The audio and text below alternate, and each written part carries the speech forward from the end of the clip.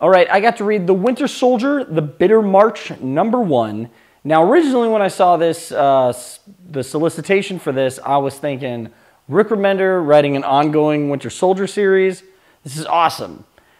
It's still awesome, but it's not an ongoing. Uh, this is a limited run, but it's really cool. We pick up with the Winter Soldier in the 60s. Well, actually, we pick up with Nick Fury and S.H.I.E.L.D. in the 60s. And it's just, this is just a really good espionage espionage book, and if you're excited for the movie, I would definitely suggest picking this up because this just reminds you how ruthless and badass Bucky Barnes is when he was brainwashed as the Winter Soldier.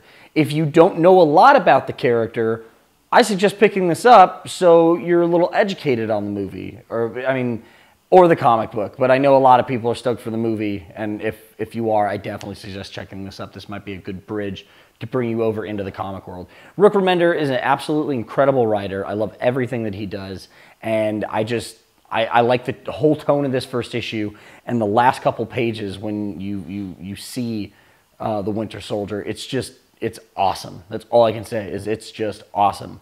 Definitely pick this up. I'm giving it five out of five nerd skulls.